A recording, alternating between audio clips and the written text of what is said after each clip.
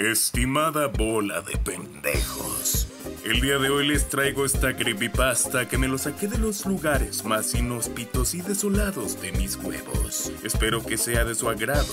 Compartan este video con la demás raza desmadrosa bien locochona y sin más que decir, comencemos. Si están escuchando esta historia, es porque yo ya estoy muerto, tirado en un barranco con cal encima. Jaja, tráguense mis pelos. Me quiero suicidar.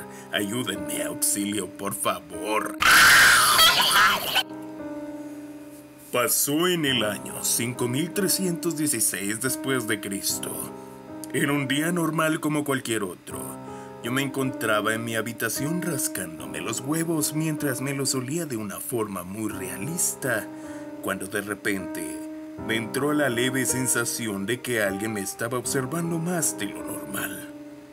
No le tomé importancia, por lo que empecé a ver puro chipotle para distraer mi mente de aquella cosa extraña que me sucedió. Así que abrí el Facebook y lo primero que me salió fue un video que decía donaldmilanesa.exe. Me pareció algo inquietante y a la vez excitante que hizo que me tirara un pedo demasiado hiperrealista y sumamente espontáneo. Cuando veo, sale un trozo de carne con la cara de Donald que decía... ¡Ayúdame, Timón! ¡Yo quiero ser una milanesa! Esto me dejó totalmente pendejo, más de lo que ya estoy, y luego empezó a moverse de una forma muy hiperrealista y siguió diciendo... ¡Oh! Pero si soy una milanesa, no está tan mal. Luego Donald salió de la pantalla de mi móvil y yo grité.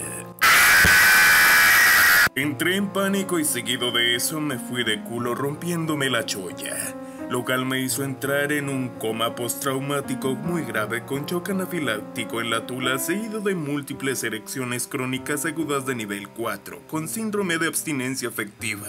En eso desperté y noté de una manera muy extraña y sensual que mi celular no tenía batería. Y para variar me cortaron la luz por lo que fui a probar un truco que vi en manualidades en 5 minutos y de repente ya había hecho un generador de plutonio con puerto HDMI 100% orgánico y toda una mamada de manera muy convencional.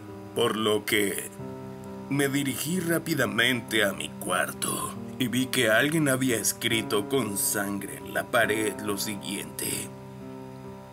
Ser una milanesa no está tan mal. Les escribo esto desde el cielo, acompañado de mi compa el Maradona. Suscríbete y espero que te haya gustado mi video. Hasta la próxima.